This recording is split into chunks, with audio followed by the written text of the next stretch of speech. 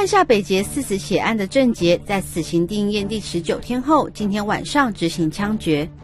当时在捷运车厢里被郑捷一刀刺进左胸，差点死亡的陈亮志得知后说：“是我个人是觉得说，目前呢，仿效他的这种案例层出不穷。我觉得他他等于就是一个一个起始点。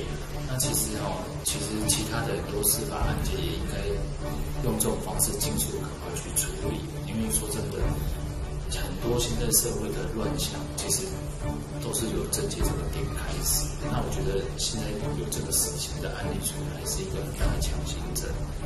我我相信他的死刑也也会带动一些一些氛围，那甚至是说社会大家看到他死刑，说不定也会有一些喝足一些犯罪的一些一些能力。